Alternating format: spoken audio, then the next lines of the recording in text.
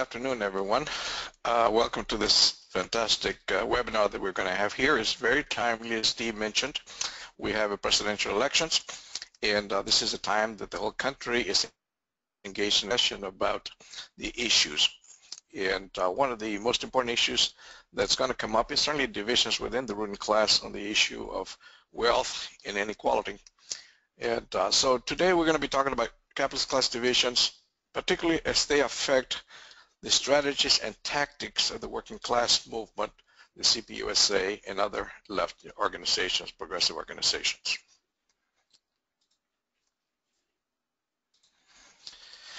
So why does the class need strategies and tactics? And the way I'm using strategies and tactics is uh, in a very simple manner. Strategies are long-term plans, long-term vision.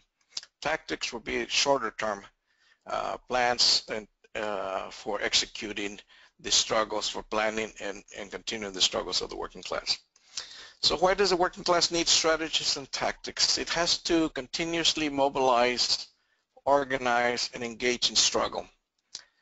It must have a winning strategy. So we must have a strategy that takes into consideration what's happening with the ruling class. Tactics must take into consideration what the working class is prepared to do and where the ruling class divisions make room for advance. So both things have considered in developing this uh, strategies and tactics. So what does the CPUSA uh, have to say about this? Uh, I think it, it says it very well in the Road to Socialism, the party program, where it says that general divisions in the capitalist class contain significant opportunities for working class and progressive forces. On some issues, the more moderate more realistic sections of the capitalist class and its political operatives move in parallel with the people's movement as, as important though temporary allies. They can be pressured to adopt a more progressive stance by the strength of the people's movements and mass sentiments. One example would be certainly the uh, how Clinton has been changing her positions relative to those of Bernie Sanders uh, as the uh, presidential elections move forward. Um, here's a, interesting comment from Lenin. He wrote this in Left-Wing Communism and Infantile Disorder. And here Lenin was uh, justifying uh, conciliatory tactics and compromises with others, including bourgeois parties. This perspective became the basis for the Comintern's, the Communist International's 1922 United Front tactic. So what Lenin said was that the most powerful enemy can be vanquished only by exerting the utmost effort and by the most thorough, careful, attentive, skillful, and obligatory use of any and even the smallest rift between the enemies, any conflict of interest among the bourgeoisie of the various countries and among the various groups and types of bourgeoisie within the various countries, and also by taking advantage of any, even the smallest opportunity, uh, opportunity of winning a mass ally, even though this ally is temporary, vacillating, unstable, unreliable, and conditional. So we don't make allies only with those that we, we fully trust and we wish to make permanent uh, allies of, but rather uh, even those that are only temporary, vacillating, unstable, unreliable, and, and conditional.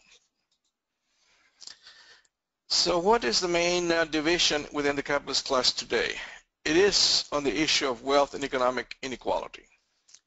In the United States today, 10% of the people own more than 70% of all the wealth. 50%, another way of putting it is 50% of the people own nothing or actually are in debt. Economic inequality has a racist edge to it as well. Concentration of wealth inevitably leads to concentration of power. That is, and, and this concentration of power is private appropriation of social power, which is a real threat to democracy. So here is a a manner in which the issues, economic issues also affect the democratic issue.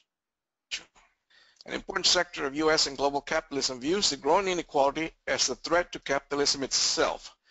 So I will be going into that. Um, I was asked earlier, which sector would this be? And I'm not looking at the entire sector, but I'm looking at a portion of the sector. Uh, that sector resides on Wall Street and on Fleet Street In Wall Street, this sector is represented by Robert Rubin, a former Goldman Sachs and Citigroup banker, co-chair of the Council on Foreign Relations, founder of the Brookings Institute. Uh, they were the main group behind the Clintons and Obama. Uh, Robert Rubin and Bill Clinton bear primary responsibility for repealing the Glass-Steagall Act, separating investment banking from commercial banking. The repeal of this law was primarily responsible for the global financial crisis of 2008. So, well, some of these people are now uh, trying to address the issue of uh, gross wealth and economic inequality. They bear a lot of the responsibility for what has happened to date, but they recognize that today uh, this inequality threat to capitalism itself.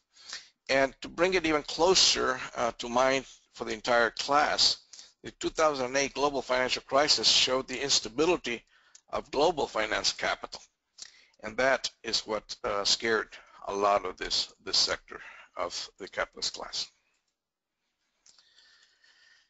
So because of this, uh, they called together a coalition of, uh, for inclusive capitalism. This is the name of the group that was formed by this sector of finance capital. And this, this is not an insignificant sector. Um, this coalition for inclusive capitalism uh, as a ruling class group controls one third of all the global liquid assets. And they met recently in London. Um, the membership includes Lady Lynn Forester, de Rothschild of the Rothschild family, CEOs of multinational corporations such as Dow Chemical, Aetna, PepsiCo, Unilever, Blackstone, and many others, commercial investment bankers, other global, other, other global, uh, powerful global financial interests in the Anglo-Saxon world, Wall Street, Fleet Street in the UK, and beyond. So here we have a, um, a, photograph. I don't know if you can see it, but uh, here's a photo of uh, Lady Lynn Forester de Rothschild. She's chairman and co-founder of the Coalition for Inclusive Capitalism. She's very close to the Clintons. At the meeting they had of this coalition, uh, Christine Lagarde, uh, managing director of International Monetary Fund and conference speaker, had the following to state. She quoted both Karl Marx's prediction that capitalism carries the seed of its own destruction and Pope Francis' characterization of increasing inequality as the root evil. Now, this is an important words that Christine Lagarde is talking about, and, and she's not an insignificant person in this sector of, of the ruling class. Christine Lagarde was a center-right French corporate lawyer, former French Minister of Commerce, Industry, and Finance, and Forbes lists her as the fifth most powerful woman in the world. So when she speaks, uh, people do listen. She goes on to say that, she goes on to refute the favorite capitalist reaction to rise in and I'm quoting here, that ultimately we should care about equality of opportunity, not equality of outcomes.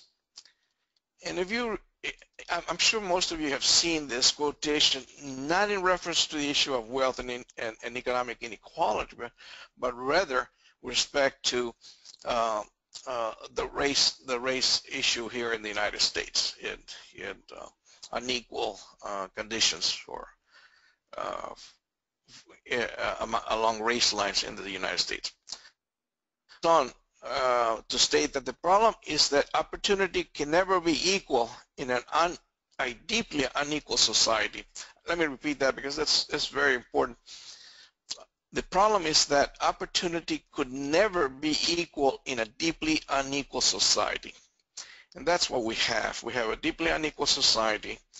And so when people talk about just equality of opportunity, that is, is a myth because there's there can not such thing can occur in a um, in a society that's uh, such so deeply unequal. Here we have a photograph of uh, of uh, Bills with uh, with Christine Lagarde, and uh, at the conference on uh, on inclusive capitalism that occurred in London. Also at this conference, uh, they heard from uh, Mark Carney, Governor of the Bank of England, And he, he warned with strong language that the capitalist system was at risk. Just as any revolution eats its children, unchecked market fundamentalism can devour the social capital essential for the long-term dynamism itself. So what, what is the governor of England saying here? He's saying is that unchecked capitalism is devouring the working class, that without the aggregate demand from the working class, the consumer, that is the consumer, the majority of the consumers, capitalism has long, long-term fundamental problems. As Marx said, the main contradiction of capitalism is overproduction and underconsumption. Capitalism drives wages down to increase profits. Workers have less money to spend, and that drives down production, leading to cyclical revolution. Uh, another person that chimed in on, on, this issue of, and also uh, with respect to what was happening in um, and what was being said at this conference on inclusive capitalism was uh, Chris, Chrystia Freeland. She's the federal uh, member of the Parliament for Toronto Centre. Also the author of Plutocrats, The Rise of the New Global Super Rich and the Fall of Everybody Else. And in, in this, uh, what's, what's the word plutocrat here is are basically people whose power derives from their wealth. And she, she's quoted as saying, what's striking is that today, 30 years later, after the beginning of the neoliberal policy, which started in, in the early 1980s or late 1970s, some gatherings of the plutocrats, we are starting to hear speeches that would not have been out of place at Zuccotti Park, that is, uh, during the Occupy movement. Interesting comment. So how is the ruling class sector raising the alarm uh, of this danger to capitalism? And here enters uh, Thomas Piketty, author of Capitalism in the 21st Century by Harvard University Press.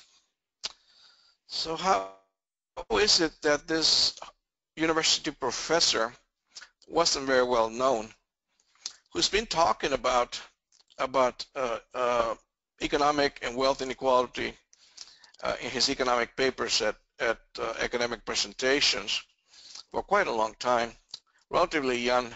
Uh, how did he come to become the, uh, to be on Amazon's bestseller list? Uh, he has sold over 2 million hard copies of this 700-page weighty tome, not actually read it page, you know, cover to cover. Um, but the reason he was able to do this is certainly because a sector of the ruling class says this is an important book and it's based on solid evidence. So what is uh, what is Piketty? Uh, what what what made this book so important?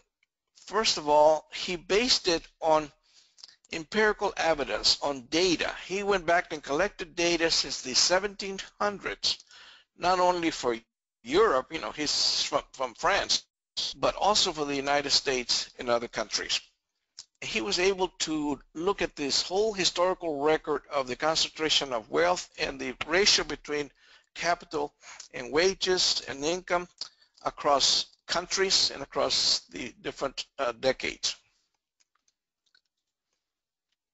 So here we have a a photograph or a picture of um, a sketch of many people reading Capital. And uh, like I said, it's about 2 million people have read it, bought it, hard copies, and uh, widely discussed in, in most of the media.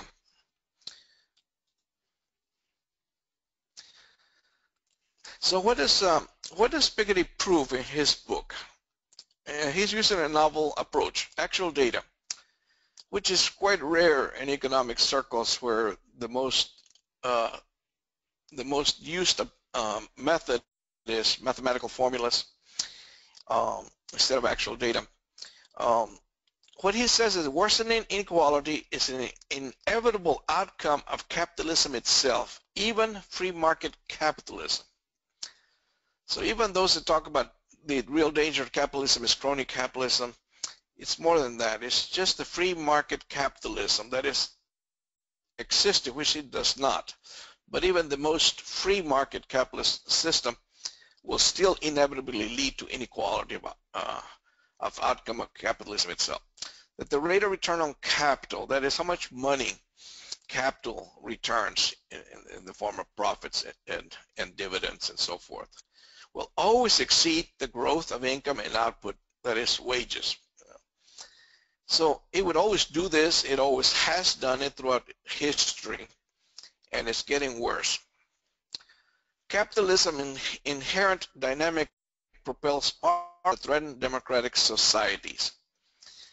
And um, so uh, go, going back to what he said about the rate of return on capital, he says that the rate, rate of return on capital, that is capital gains on stocks and bonds and so forth, on average, on average, they, they're about four to five percent.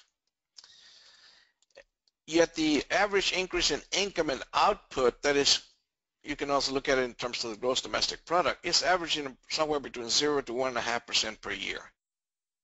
Bottom line is that the rich are getting richer and the working class is drowning or barely floating. And then he goes on to make another very important statement, and that is only intervention by the state can reduce wealth inequality. And he suggests a progressive annual tax on capital. Now, he does suggest one on global capital because that's always going to be a counter to this argument is that capital will flee the United States where it is taxed more heavily, it would flee to other areas of the world. So he's talking about a global uh, progressive tax on capital.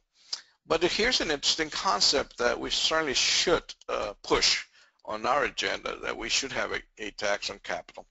There is such a thing here in this country, it's called a capital tax, uh, capital gains tax, but it's very low and, and a lot of, uh, uh, so it's not rate, it's not taxed at, at the proper level and that's certainly no, and that's only on the stock market. It's not wealth in general, so there needs to be a progressive tax. He's talking about all wealth, all the assets. So um, he, also makes very interesting um, observations about prior ruling class concessions. So he's, he's, what he's saying here is that the ruling class has made concessions in the past, so what we're talking about here, and, and when, we talk, when we're talking about this sector of the ruling class that wants to make some concessions, that wants to reduce the gross inequality in wealth and income, there's precedence for this. So he goes on to talk about the New Deal back in the 1930s, and that it came about because of ruling class differences, divisions within the ruling class on how to deal with the Russian Revolution, and the growing appeal of communism and socialism, the Great Depression, joblessness, rest, union organizing, and growing communist left influence, and the need for labor support for the coming war against fascism. So that's what the, um, the state was dealing with back in the 1930s, and they had to make a concession. It came to be known as the, the New Deal. So what did, uh, how did we react during that period? How did we in the working class, in, in the left movement, in the CP, how did we react during that period? We made bold demands for unemployment compensation, bold demands for Social Security, and bold demands for labor rights, and so forth.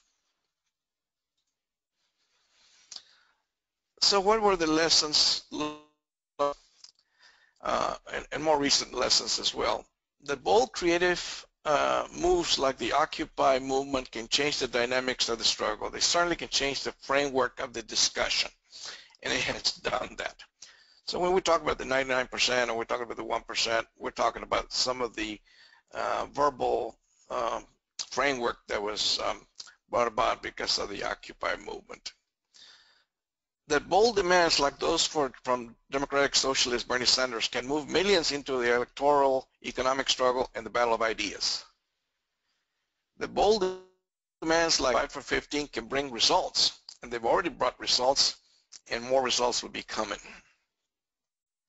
Especially in an atmosphere in which the a sector of the ruling class, of the capitalist class, is ready to make such concessions in order to preserve the stability of capitalism and, and to look after the future of capitalism.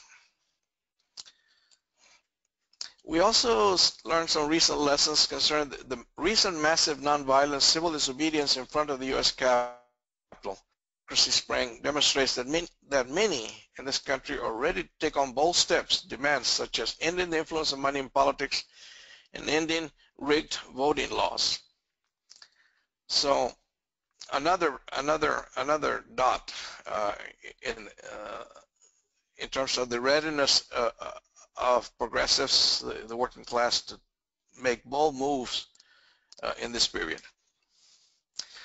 So we must seize the moment and develop new tactics for this uh, this time. We must make bold demands that capture the imagination and give impetus to our movement. Lenin also went on to state that it is not enough to be a revolutionary and an adherent of socialism or communist in general.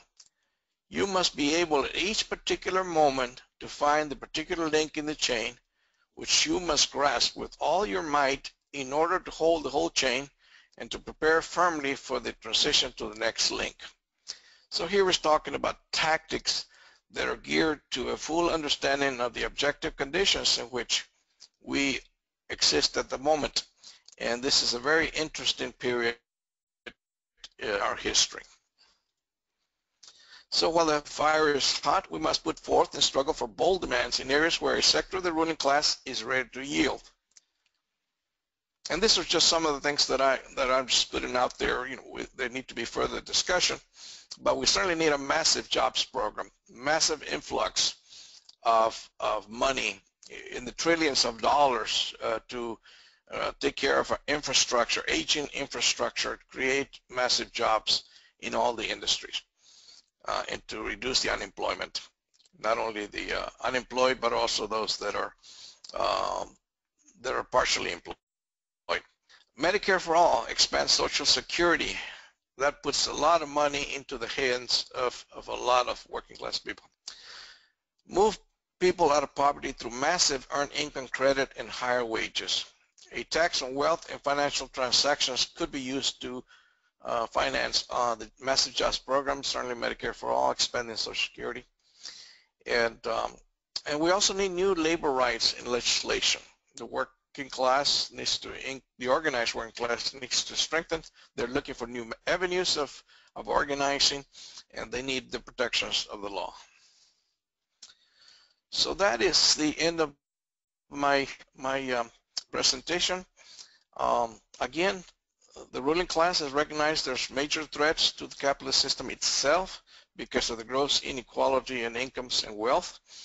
And I think there a sector of them are ready to make concessions, and we should uh, be making bold demands. And that's the end of the uh, of my presentation. And now I think we're we're ready to move on to uh, John Kay's uh, presentation.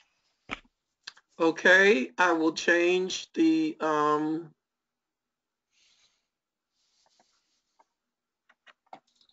Thank you, Alvaro. Okay, John, you should be able to show your screen now.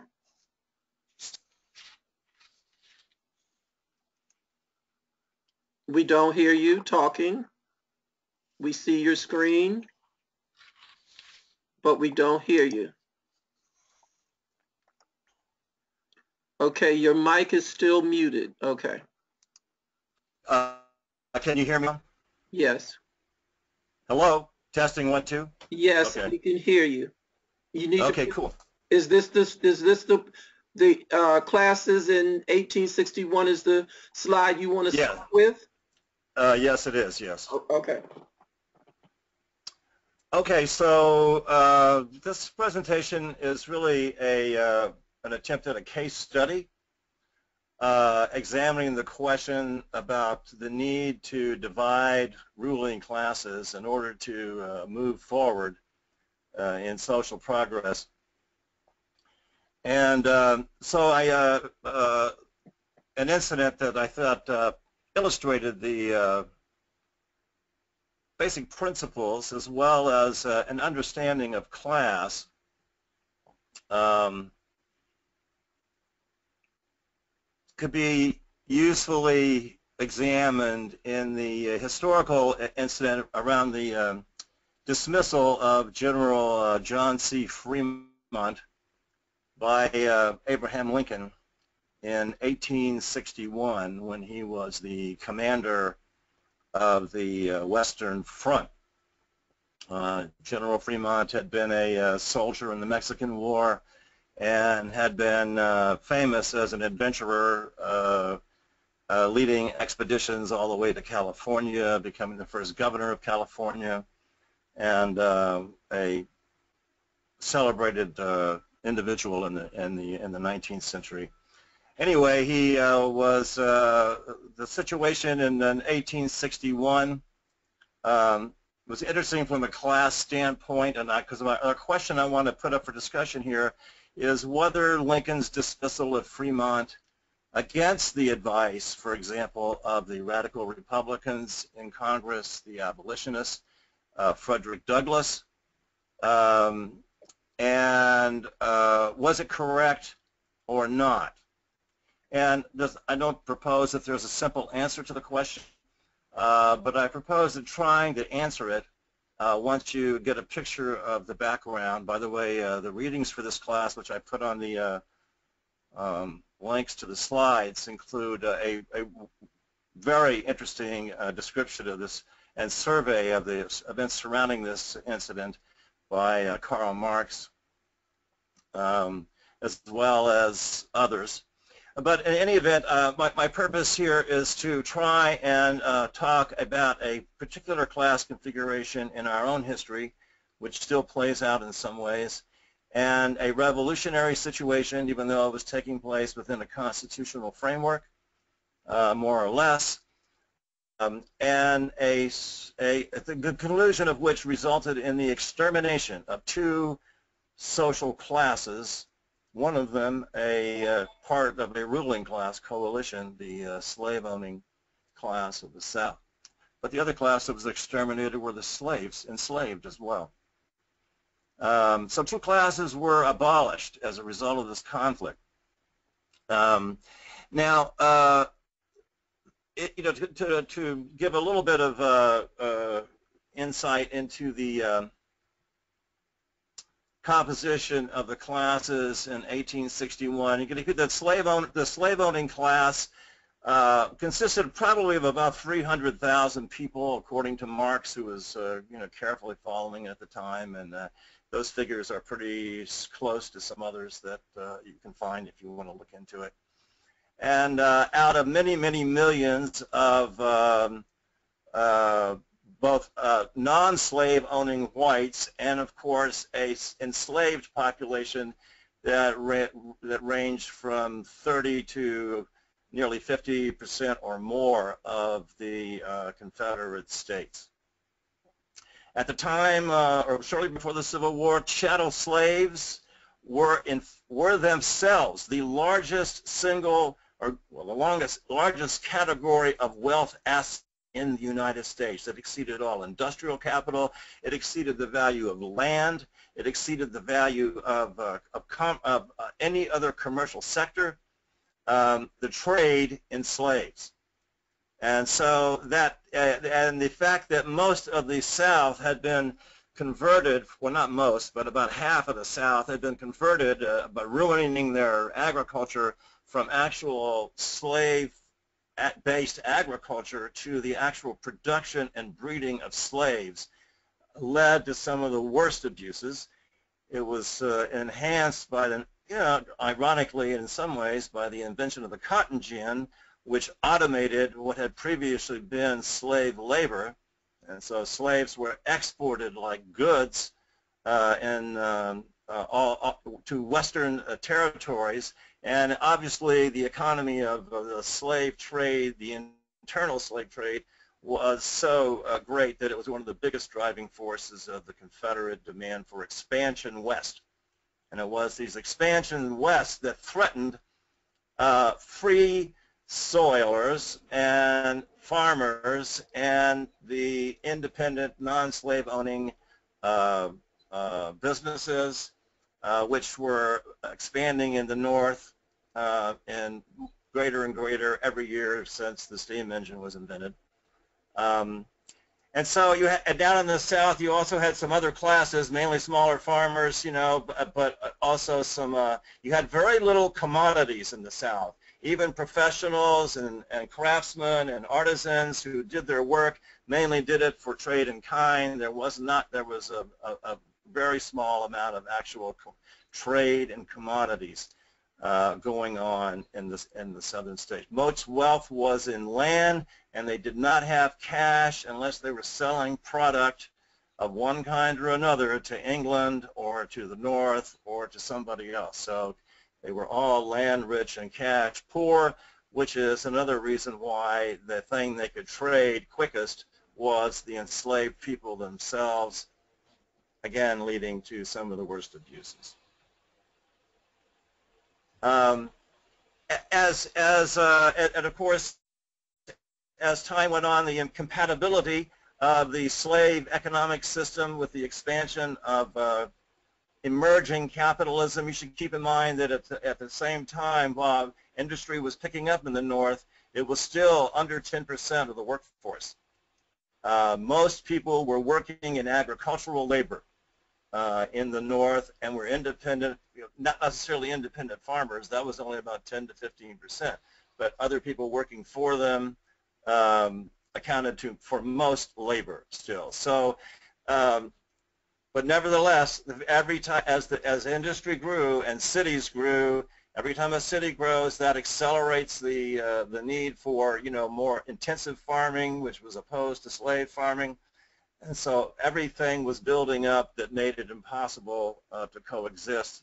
The final straw being the demand of the uh, Confederate President Buchanan that uh, that fugitive slaves, that, that slave owners could take their slaves into any territory of the Union uh, and uh, do their business and then infect the rest of the country with the slave population. And that caused the most important split of that era and that was the split between the Northern and Southern Democrats and the emergence of the Republican Party, all of which uh, tended to uh, coincide uh, with the, uh, um, well, pretty much with the, uh, with the inc growing incompatibility, incompatibility of the systems following the, uh, the Kansas Act, which made it possible to, to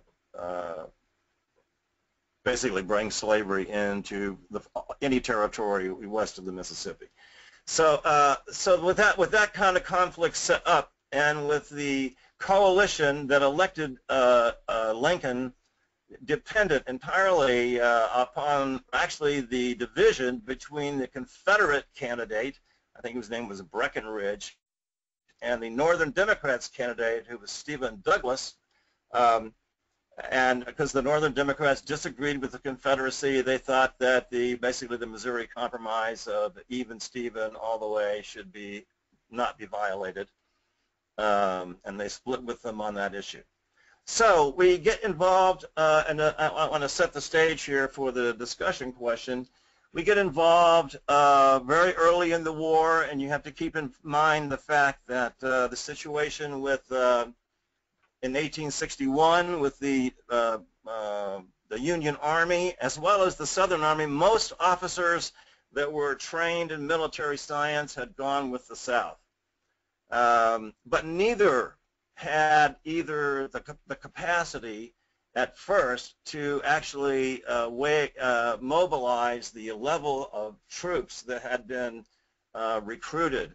There was not an officer corps, which was one that led to the, a lot of political corruption in the appointment of officers. A lot of politicians were, you know, appointed colonels and generals and officers, and and people who really had no military training or very little uh, were put in, in very powerful positions over a whole bunch of folks that had never fought a war. So uh, you had a, you know, a, you know, a, a situation that was by no means um, uh, stable on any front. And, um, and so the Lincoln strategy of trying to keep the border states, and the border states, of course, were those in which um, you know, actually, if you mixed states, which actually, in fact, initially included Virginia, uh, Kentucky, and um, uh, Tennessee, as as well as Missouri, these were states in which you know slave constitutions were not in effect, and there was a mixed system of both free and uh, slave enslaved labor. Um, and, and not only that, uh, these states by and large, except for Virginia, of course, had uh, not mobilized their people into armies to support the Confederacy, even though the Confederacy claimed them as part of their domain. Um, and at the same time, in Virginia, of course, the you know the split that was wasn't resulted in the separation of uh, West Virginia from Virginia. Uh, West Virginia being mostly uh, free uh, farming and non-slave owning folks that had felt disenfranchised in the, the way the plantation-based Virginia government was being or, had been organized. So you had a, a lot of these, you know, now uh, different configurations. Now once the war started, of course, the question of how all these different forces were going to fall became a, uh, a critical matter in terms of whether, you know, you were going to prevail or not um, and uh, and whether the rebellion was going to be put down, whether the outcome of the rebellion would be the secession of states permanently. Um, there were many factors that hinged on that. I encourage you to read the uh, the uh, links I have in there for Marx. We, he uh, talks very very interestingly about the uh, how close a call it was that prevented the uh, the British from recognizing the Confederacy, and it was really, frankly, Antietam that talked them out of it. Um, in any event, um, 1861, the war has started. The current um, position of the Congress as the the, uh, the law is is that um, if, if in rebel, in, in, that people who are disloyal to the United States, people who have borne arms or who are part of the Confederate militias in the border states, uh, that the Union is free in combat with them to uh, expropriate without compensation any enslaved people that uh, were property. Uh, but it did not authorize the uh, expropriation of slaves owned by loyal uh, pro-union, uh, not secession, um, citizens um, uh, in the border states. when John C. Fremont, who was a very well-known re radical Republican, a consistent, as Frederick Douglass said, anti-slavery voice in the United States, uh, a consistent abolitionist. Um, when he was appointed the commander of the West, he did a number of things with, uh, that are, have been debated militarily over the years, but but one of the things he did was is that he uh, issued a proclamation which emancipated not only the slaves of disloyal um, Missouri citizens, also of uh, loyal ones.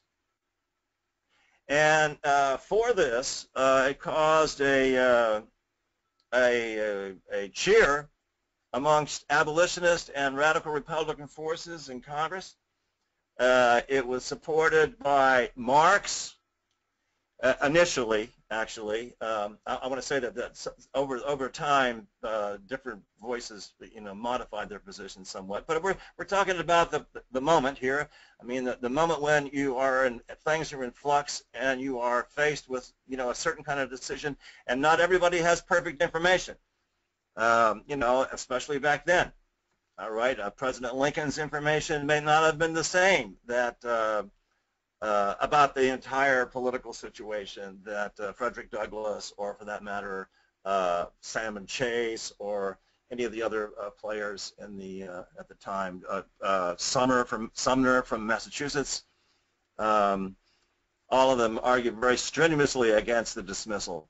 But Lincoln dismissed him on the grounds that he was advised from the people in Kentucky uh, and, and, others that uh, this would throw the uh, loyal slave owners in the in Kentucky especially into the arms of the Confederacy and that that would cause a collapse of their independent position of their neutral whatever non non-combatant um, stay in the Union position and so uh, Lincoln uh, fired him at that time uh, thinking that if the border states fell to the Confederate control, that the prospects for the war would be uh, much reduced. And in fact, of course, uh, the fact that it only it was not, in fact, until the Battle of Antietam uh, that um, you know, Lincoln had demonstrated that he could resist a uh, the, the, army of Northern Virginia by, uh, uh, headed by General Lee, that he could resist them invading the North, and that was the fact that he could resist it is, is what convinced the British Parliament. Very interesting articles by Marx on this to um, uh, not recognize the Confederacy. Uh, so, and, and, and, and the other important turning point, of course, is, is that even though Lincoln fired um, uh, uh, Fremont, as Marx, by the way, later observes, uh, he uh, began almost immediately, this was 1861, he began almost immediately rethinking the need for an Emancipation Proclamation. And so uh, it's hard not to observe a coincidence in time and um, and in change in his own judgment um, uh, that even though he, became, uh, uh, no one knew more than Lincoln what the essence of the struggle in the Civil War was. Um, but uh, he became persuaded, interestingly, over time in different ways of how the uh, of how the configuration could actually work and be carried out. And of course, um, we know how it ended up. But but the uh, uh, but it's uh, it's an interesting debate to have between uh, historically between left forces, generally rec generally represented by the abolitionist voices, um, and, and, of course in this case, if you want to do the readings by Marx, um, and uh, Lincoln's own statement. And I, am going to basically you know end this at this point on the uh, my presentation with um, um with a a little thing I found on the web, but which I think actually accurately introduces um, what I think would be an interesting discussion question. And I repeat that I don't, do not think that there is a simple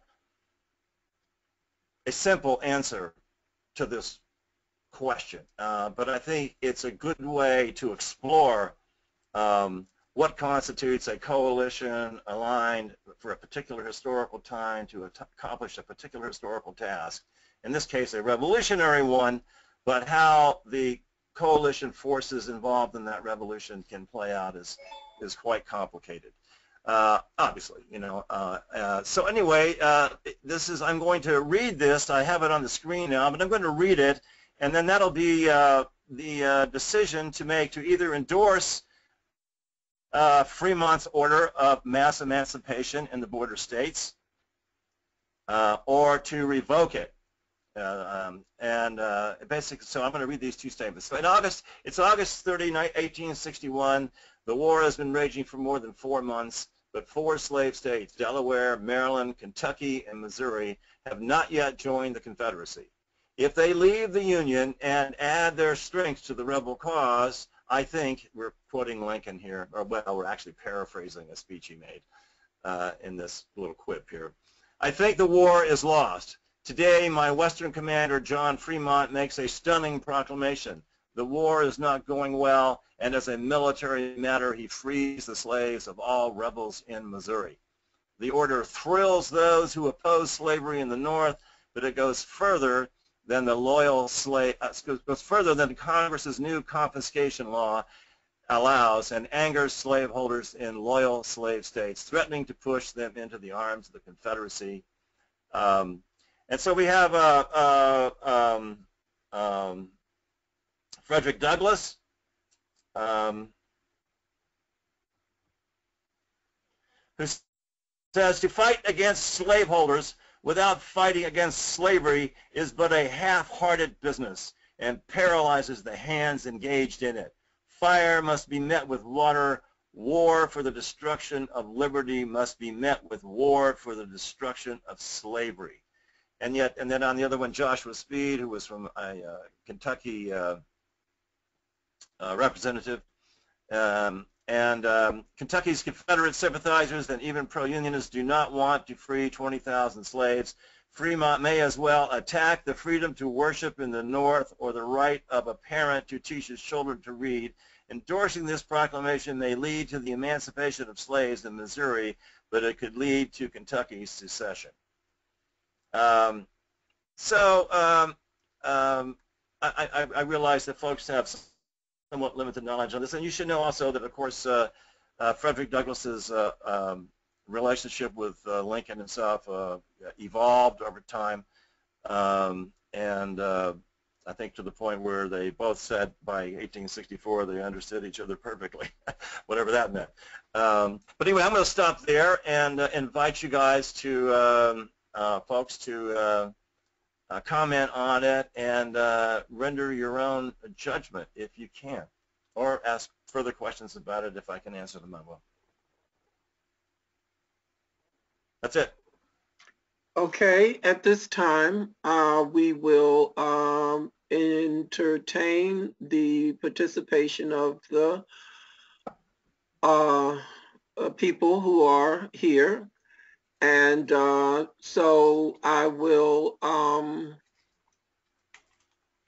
if you would like to make a comment or ask a question, I, I, what we'd like to do is, is have each uh, participant who wants to speak, uh, be it uh, pose a question or make a comment, to we want to go through all of those and then we'll turn the floor back over to John and he'll uh, respond to those comments or questions uh, uh, um, and then um, as he chooses and then we'll turn the floor over to Alvaro and he'll respond to the comments and questions uh, as he chooses and each uh, in their turn will make uh, closing remarks. So uh, at this time, all participants are invited to uh, ask a question or make comments. And so if you'd like to do so, please you uh, please click your raised hand icon. The hand, just click the hand, the raised hand icon. That'll let me know you want to speak and I will open your mic. So Jordan Hardy, your mic is open. Jordan Hardy, your mic is open. Okay, can you hear me? Yes. Okay, um, I um, I always look at the Civil War as um, proof that sometimes war is actually necessary in order to abolish the social injustice, which is actually worse than the war itself. Uh, I just wanted to see if you guys agreed with that, or yes, Okay, uh, so we want to collect all the comments and questions and then uh, uh, each uh, panelist can respond in their turn. So, okay, thank you, uh, Jordan. And anyone else? I'm scrolling through looking for raised hands. Anyone else? So I don't see any more raised hands. So if you would like to respond, uh, John, go ahead. Uh, sure. Sometimes, um, sometimes war is un. I think history history has demonstrated that sometimes war is unavoidable. Um, I do think in the area in the in the in the days of mass media like now that it, uh, certain tactics are possible that might not have been possible a hundred years ago. I, I, have a hard time imagining Dr. King's movement having quite the same success in 1860 as it did in 1960. You know, um, partly because the whole world can see and the moral message gets out rather than gets you know exterminated. So, but I but then but I don't think anything. Uh, uh, you, these things are thrust upon you. Um, you know, one of the interesting things in Lincoln's uh, second inaugural, you know, that he observes right in the beginning, um, and I think everybody thought as well, is that no one, no one thought that it would do the damage, that conflict that it did. No one thought that it would be that big, that horrible. And um, and it got out of, uh, you know, that it becomes a thing in itself. And so I think uh, um, we cannot rule it out, you know, that uh, you have to, you know, uh, if, for example, if institutions fail, well, whoever has the most guns wins, okay?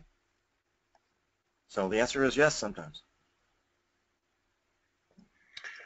Okay, I'm looking for raised hands and uh, you're invited to uh, ask a question. You're invited to make a comment. I'm looking for raised hands. You just use your raised. Okay, I see some people are choosing to write in the, uh, so um, Carl Page uh, says, John, how were the Confederate slave owner capitalists able to rouse the non-slave owning citizens to fight uh, and risk their lives for them? So how were the Confederate slave owners able to uh, mobilize the non-slave owning citizens to fight and risk their lives for them? That's, well, I mean, you, uh, you, want me to answer that now, or you want to? Okay. Go on. Yeah. Go? Go on. yeah. Well, so I mean, you got to keep in mind the uh, the Confederacy was a a dictatorship, or, or certainly developed into one, um, in which the propertied classes retained all political power, and it was written into their state constitutions. Um, and also, you got to keep in mind that most uh, small farm, most, like say you were uh, the non-slave owning whites in the South, for example, which would, would be many cases tenant farming or just engaged in trades related to the plantation economy that were, you know, not suitable to uh, slave labor. Okay, I mean, for example, if you had to have a certain amount of education to do the trade, a lot of the artisan work and craft work, stuff like that, I mean, you were, you know, from the slave owner's point of view, wasn't going to get very many slaves involved in that, okay? Uh, so you had, but that, that, that the, the dependency on the local plantation economy, which was not, remember the capitalist part, the think about the, think about what is the capitalist part of the slaveocracy, okay? Well, one was the mercantile part, which is they produce and they sell a whole bunch of cotton or tobacco to England. All right? And so, and that's, and they get paid back either in cash or in kind, okay? But they, if they had any cash at all, it came from that uh, primarily, because that's where the manufacture of uh, linens and, and te early textiles was being advanced. Uh, and tobacco was being consumed, of course, everywhere, but um, but one of the problems was with the, you know, the exploitation of the soil and the and, and the plantation culture was such that most of it was self-sustaining and very few commodities were bought or sold except for the richest people bought themselves. Jefferson bought himself thousands of books and all kinds of other things, you know. Um, but there wasn't much economy going on in that economy. Now later there was, and the economy was the trade in slaves. Now that was chattel capitalism in a way because you know that was actually a uh, that's that, not an agricultural uh, you know uh, act, act at all. Um, so I think that you had a ruling class that was a landed class. There were aspects of capitalism to it, but it was not a full. I think it was wrong to characterize the slave system in general as capitalist. Okay, even though there were capitalist aspects to it but the dominant forces were not in that direction, and they were not in the direction of improving commodity production because they couldn't, because you can't do commodity production efficiently with slave labor. Okay, so um, I think so. I think you know, that's my best answer that I can I can give to that question. All right, your mic is open, Pat. Your mic is open. Oh, thanks. Can you hear me? Yes. Okay. Um, I really appreciate both presentations. Um, this has been a very, very interesting discussion and um, and quite timely, given um, the debate on the left around um, the electoral tactics in this election. Um, I, I just have a, a question for Alvaro. And you know, I may have just missed this, but when you say that Wall Street is a part of, um, you know, uh, is, is that there's contradictions that could lead it to winning over part of Wall Street to a progressive agenda. Um, that, that's kind of what I heard. And, you know, beyond the IMF, and I think you mentioned uh, a Bank of England, I'm not sure, um, what, what else do you see there in Wall Street um, that would lead you to conclude that it could be a part of a progressive coalition? And um, on John's presentation, um, you know, what leads me to think uh, is this adage that I've always appreciated. It's not enough to win. I mean, it, it's not enough to be correct. You have to win. And uh, I, you know, I'm I'm grappling with the with with the example of the Civil War, and how does it pertain today to the situation we're confronted here?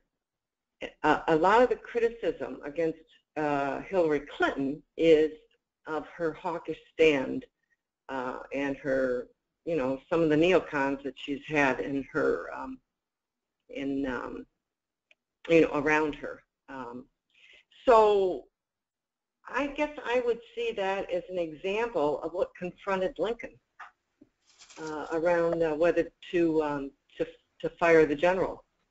So I, I, is that is that the kind of thing you're you're trying to get at? Because I, I think it's a really important example that for today.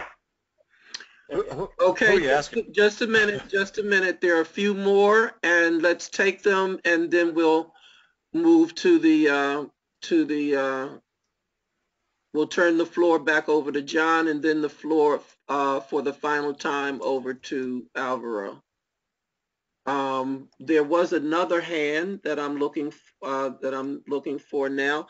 Okay, there's a comment, um, in the Lenin quote, Lenin pointed to conflict of interest among sections of capital, not conflicts of ideology. What are the conflicts of interest within U.S. capital? For instance, is the, I guess, is there a conflict between finance capital and industrial capital? Or is industrial capital completely subordinate to finance capital?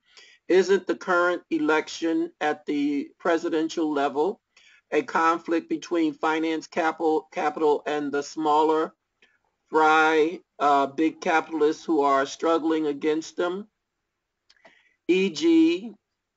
Trump, uh, Koch brothers for their place in the sun.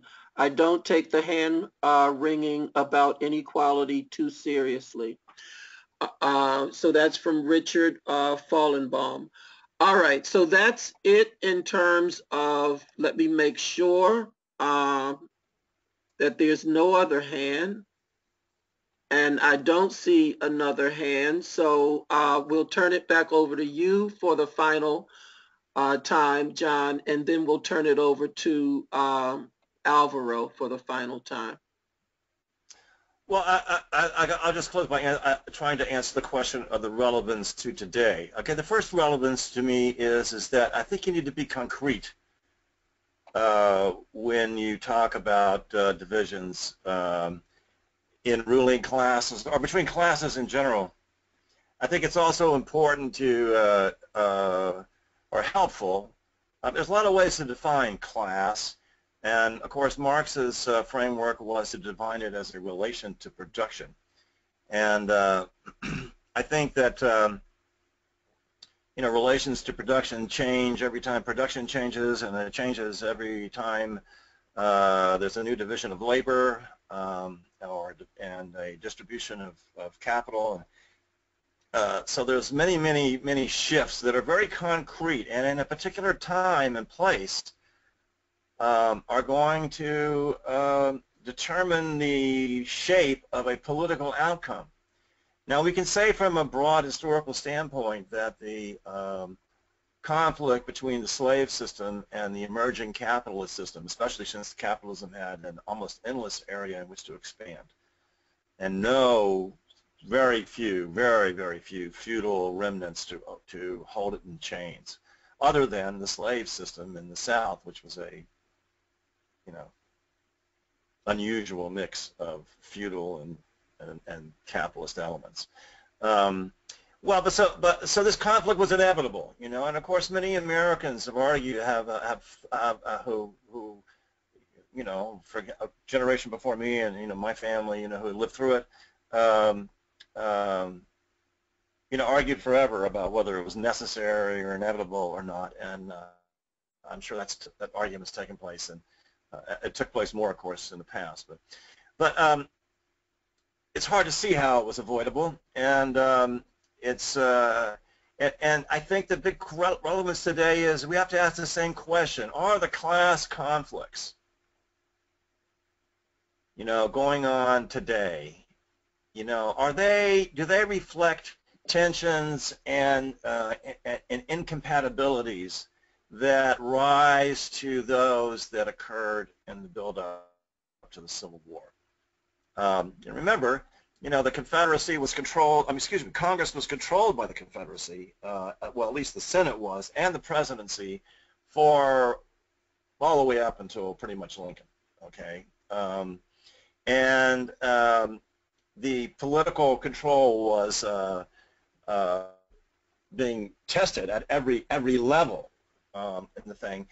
But at a certain point, institutions could no longer function, um, you know, and carry out the law. You could not implement the fugitive slave law without rebellion. Uh, you could not, um, you know, permit the endless expansion of slavery um, because it was leading to terroristic activities in Kansas and Missouri. And so, and, and, and later provocation to the point where the, and the slave owners knew it. They, they, they, they were in the situation, they, if they could not expand, they could not survive. They knew it would happen. And so they, they provoked it. And, um, um, and so you, you, know, a, a, tremendous conflict arose. Now, I think we have to ask the question today, uh, uh, you know, some uh, along the lines that uh, Thomas Piketty asked in the in the in Alvaro's presentation. We have to ask the question: um, you know, well, is there an is there an adjustment that can be made in uh, the relations between public and private, a new different tax reforms, um, a, a, redistribution of wealth, even on an incremental basis, an increase in bargaining power of workers that could reverse the austerity, inequality uh, uh, tendencies that we see everywhere. And, and what does it take to do that, and what does it look like right after you try and fix that? So I, I, I think we're a little bit like folks before. We don't know how big this conflict is going to be. I think the closer we get to it, the more serious it looks. And uh, is it does it, it is the outcome the overthrow of capitalism? Well, I doubt that. Uh, certainly not in an absolute sense. But um, there is a restructuring of class relations that's on the horizon here and um, it, it, will it be less severe than, than what we endured through the Civil War? Well, God, let's hope so. Uh, but I don't think when you enter these things that there's any guarantee of it. Um, you know, in some ways, the, the pitch that um, the Clintons make uh, uh, and have made all along is that, well, you know, there's a healthy part of capitalism in the, you know, high tech and all these other things that they uh, get their backing from, um, and um, and that the best way to do things is to you know uh, you know kind of develop these positive parts and triangulate the uh, you know the ultra right somehow. But uh, you know I think one of the things that's happening is the people are saying that uh, well if you know it's been 40 years of no raises except for a couple of years in the middle of 97, 98. Really. 40 years, no raises, you know, for the working class of the United States.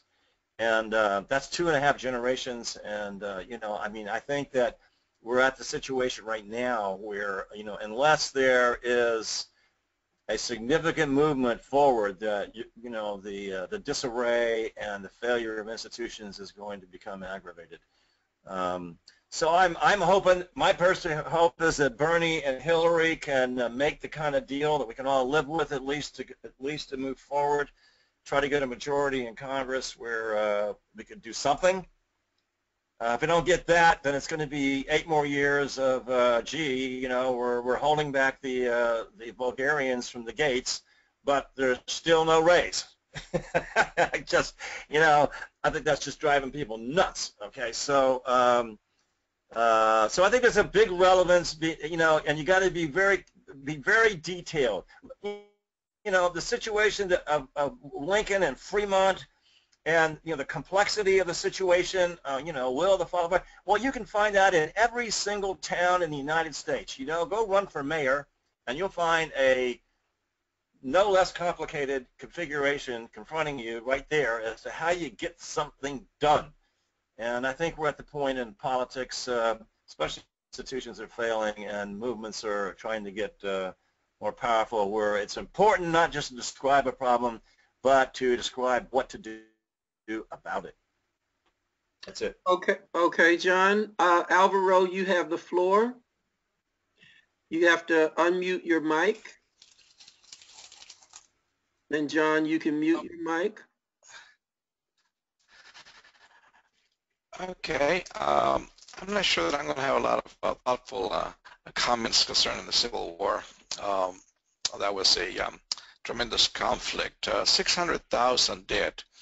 It, uh, the largest loss uh, of U.S. soldiers in, in all of, of U.S. wars put together. Um, and that was a war that was imposed on the North by the violence initiated from the South. So it wasn't certainly not Lincoln's. Um, Lincoln was the one that started the fight uh, over the slave issue. In fact, he did everything possible to avoid this armed conflict, the Civil War that, that happened. Um, and, and, and there was a, a question asked about how, how were the uh, Southerners uh, uh, uh, convinced to, to join the fight, especially those that were not uh, slave owners? I think a lot of it was appeal to Southern nationalism, the South, and Southern culture. Amazingly enough, I just finished attending a uh, meeting of this Board of Trustees of the Houston Independent School District, one of the largest uh, school districts in the country. And the major item on the agenda was to change the names of many of the schools that are named after Southern uh, Confederate generals and most of the opposition uh, or the divisions uh, on the issue came out between people of color on one side and and white uh, uh, uh people on the other. So people here in Houston and in the South, they're still fighting the Civil War, and uh, they fight it in different ways, but they're still there. Um, now, on the issue the question about Wall Street, what part of Wall Street, what, what constitutes, uh, uh, which sector we're we talking about? Um, I mentioned that this, this coalition for inclusive capitalism that sees a big problem with the inequities in wealth and income today, who's really trying to modify the, the ruling class shift uh, to neoliberalist policies. That is unfettered capitalism uh, uh, with minimal regulation, with uh, minimum taxation, with uh, minimum impediments to uh, global um, tentacles all over the world. That that this has come to very bad results, and that it needs to be reversed again, this some of the people that are involved in this inclusive uh, coalition for inclusive capitalism were some of the same people that were involved in the neoliberalist movement, but they have realized they went too far and they want to turn back.